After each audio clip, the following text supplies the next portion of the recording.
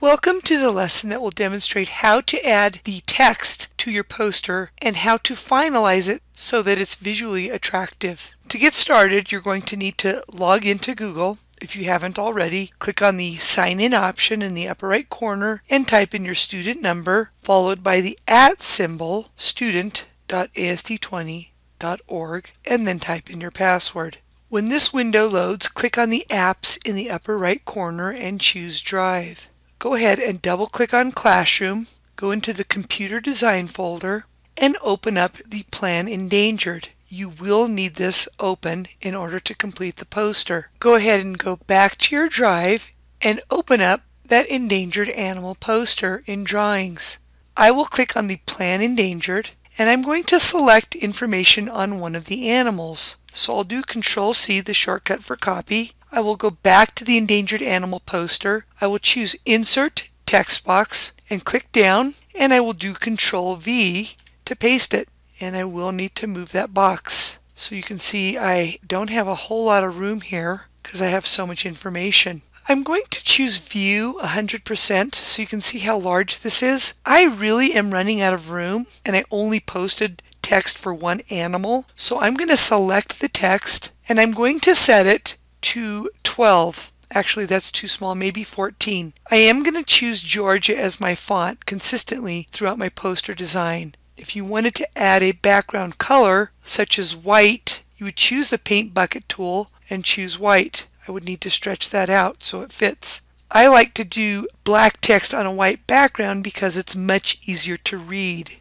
If you do that, you might also want to put a border around it. I will continue to add the information for the other animals, and hopefully it will fit. I've pasted all my text, but you need consistency in font scheme. So I'm going to show you something. You could actually hold the shift key and select all the text boxes. You could come up here, set it all to size 14, now remember, it has to be a readable font. Georgia happens to be one of my favorites. And then you can come up here and change the boxes all to white. You would obviously need to drag that out. If you're going to put a border, you need to hold the shift key on all these and put a consistent border around all of them. So maybe I'll pick dark green. You could also change the weight if you so choose, or the style. Here's the weight. You can make it thick or thin. I prefer thin borders.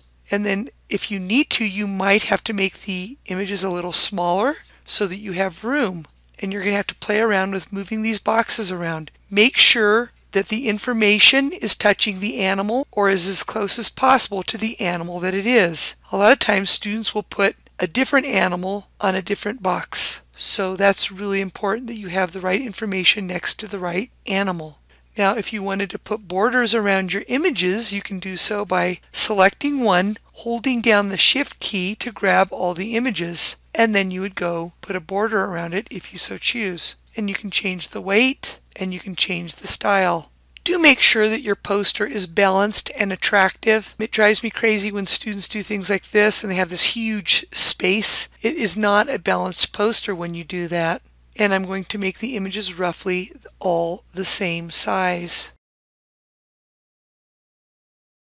Do make sure your information is fitting in the box. You might have to drag it. If you did have a little extra space, you could put a thinking bubble by choosing Insert, Shape, and then Call Out, and then choosing the call out that you want. So I'll choose this one. I will drag it out, and there's a little orange box there. I might bring it over here and start typing Save Me exclamation. You can change the color of that box by going to the paint bucket. If you want to change the font, you would obviously go up here. I might choose Special Elite. I do want to point out that I like it when people take the title and I might use Special Elite and change the title to that one other font so it sticks out a little. You have to consistently do that with all of them. So for example, if you choose your title to be Medieval Sharp, you would need to go to all these titles and set it to Medieval Sharp. But I like the Special Elite, so I will choose that one. One other thing before you finalize your poster, I like to have the same distance around the poster.